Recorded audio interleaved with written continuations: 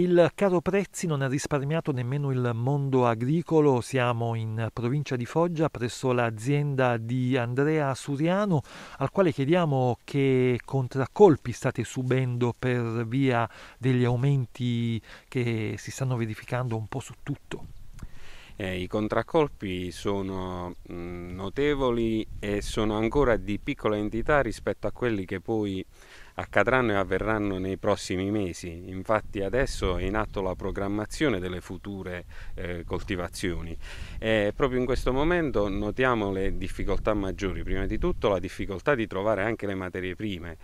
per, di reperibilità per poter poi iniziare i prossimi trapianti. Eh, aumenti di prezzi nel, nel costo delle piantine, delle concimazioni, la difficoltà da parte anche delle industrie di garantirci la possibilità di poter produrre il prodotto prodotto nuovo, gli nuovi ortaggi, soprattutto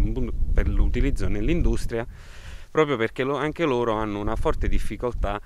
nel, nel, poterci garantire la lavorazione del prodotto, perché loro, come noi, stanno subendo fortemente il, il caro dell'energia elettrica, il caro del, del gasolio e il,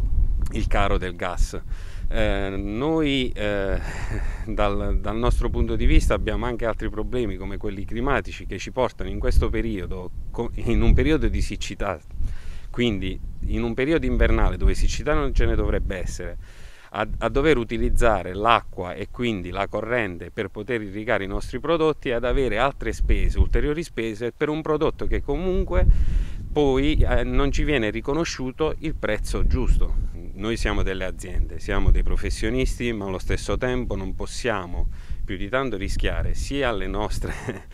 eh, le, le, nostre, le, nostre, capacità e non possiamo permettere eh, di, di, entra, di, andare in perdita. Eh, noi nel, nel, nostro piccolo dove riusciremo andremo avanti, però garantendoci un, un margine di, di sicurezza. Quindi aumentano i costi di produzione e non aumentano invece i prezzi al consumo. Assolutamente no, i prezzi al consumo restano più o meno stabili. Nel momento in cui ci sono determinati eh, prezzi e determinati ortaggi che aumentano di prezzo è perché c'è stata una bassa produzione e quindi eh, questi, questo piccolo aumento di prezzi eh, ci va, a, eh, va solo ad appianare la mancata produzione. Cosa chiedete?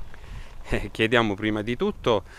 eh, di cercare in qualche modo di calmierare questi aumenti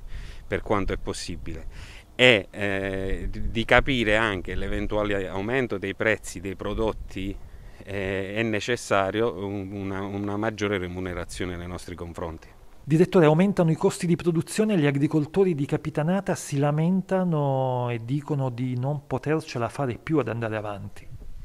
Beh, i costi di produzione riescono quest'anno a mettere veramente in ginocchio le imprese agricole. Eh, si, abbiamo fatto una valutazione per il grano eh, già dall'inizio alla semina costava circa 300-400 euro in più eh, solo, mettere il, solo, mettere a terra la semente, quindi eh, abbiamo dei, dei, costi abbastanza elevati su tutte, le, su tutte quelle che sono eh, le colture. C'è grande preoccupazione anche per il pomodoro nel quale c'è un ingresso di un esborso iniziale di di, soldi abbastanza elevato e anche questo quindi sia sul grano sia sul pomodoro ma anche sull'asparago ma su tutte le lavorazioni che noi andremo ad incontrare in questi mesi prossimi abbiamo delle grandi difficoltà che sono dai costi dell'energia ai costi delle sementi ai costi delle, di tutte le attrezzature che sono comunque saliti alle stelle. Cosa teme? Che ripercussioni ci saranno? Beh, le ripercussioni sono importanti, già il fatto che eh, eh, si prevede una diminuzione di superfici perché in, la valutazione è, è, una diminuzione di superficie agricola coltivata può dare incentivo a che cosa? A speculazioni del tipo eh, pannelli fotovoltaici o cose del genere o altre speculazioni di cui eh, non voglio questo, di cui non voglio parlare in questo momento. Cioè? Speculazioni in generale, ma soprattutto dobbiamo stare attenti in questo momento perché eh, dobbiamo essere sereni nel, dove, nel, fare nostro, nel, fare il lavoro dei agricoltori, cercare di eh, sfruttare tutte le leggi come quella delle pratiche sleali che è uscita eh, da pochissimo tempo e che non può far abbassare il prezzo al di sotto dei costi di produzione, ma anche e soprattutto essere organizzati e eh, essere sempre più performanti per quanto riguarda l'organizzazione all'interno delle nostre aziende agricole.